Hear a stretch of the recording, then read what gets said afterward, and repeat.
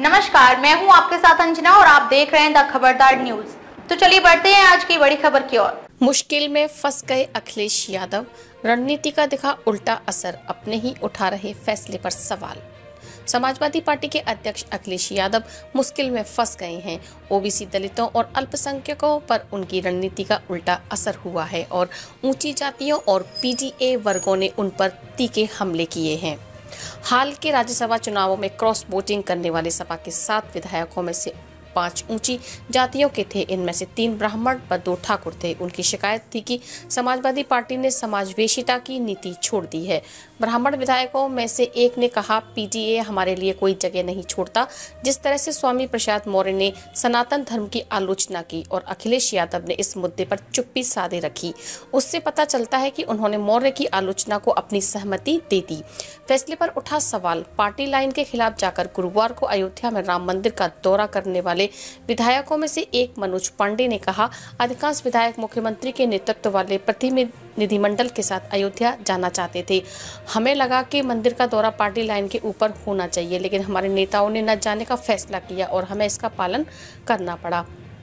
ऊँची जाति के विधायकों के साथ ही ओबीसी नेता भी पीडीए के फॉर्मूले पर सवाल उठा रहे हैं।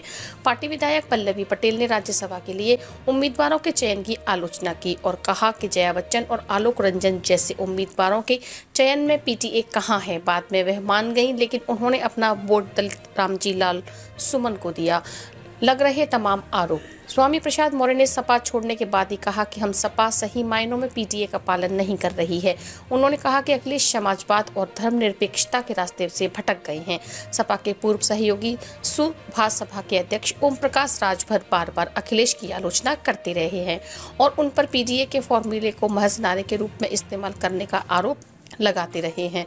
पूर्व सांसद सलीम शेरवानी ने भी अखिलेश पर राज्यसभा के लिए उम्मीदवारों के चयन में मुसलमानों की अनदेखी का आरोप लगाते हुए पार्टी छोड़ दी। पूर्व मंत्री आबिद राजा ने भी इस आधार पर इस्तीफा दे दिया। लोकसभा चुनाव के पहले ऊँची जातियों, ओबीसी और मुस्लिम नेताओं द्वारा उनका साथ छोड़ने के बाद अब उत्तर प्रदेश में अखिलेश यादव को एक कठिन चुनौती का सामना करना पड़ रहा है।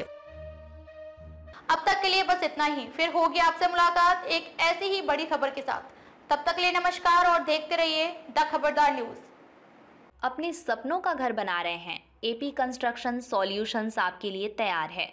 मज़बूत सिविल इंजीनियरिंग से लेकर आकर्षक वास्तुकला और विशेषज्ञ वास्तु परामर्श तक हम आपके सपने को साकार करते हैं।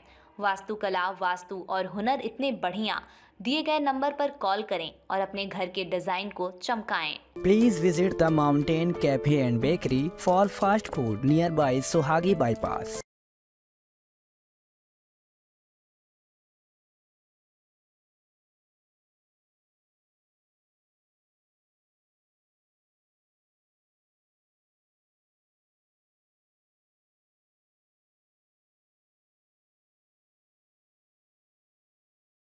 shifting की टेंशन अब no tension shift go packers and movers है ना? जो आपके घर के पूरे सामान के साथ, आपकी बाइक व कार को सुरक्षित एवं ज़िम्मेदारी के साथ आपके घर तक पहुंचाता है। तो आप देख इस बात की? आज ही संपर्क करें। Double eight two one triple zero seven one seven